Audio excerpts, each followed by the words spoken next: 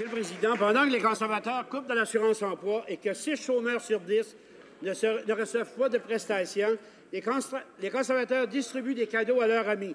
À Entreprise Cabreton et à l'Agence de promotion de Canada Atlantique, c'est un paquet d'amis du ministre de la Défense.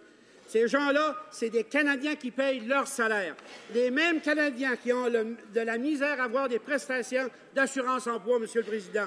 Ils ont le droit de savoir où est rendue l'enquête sur ces jambos.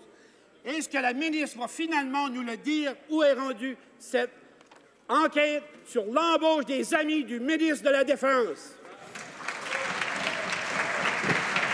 Uh, Trade. Mr. Speaker, Enterprise Cape Breton Corporation is an arm's length Crown Corporation. Any questions concerning ECBC should be directed to Enterprise Cape Breton Corporation.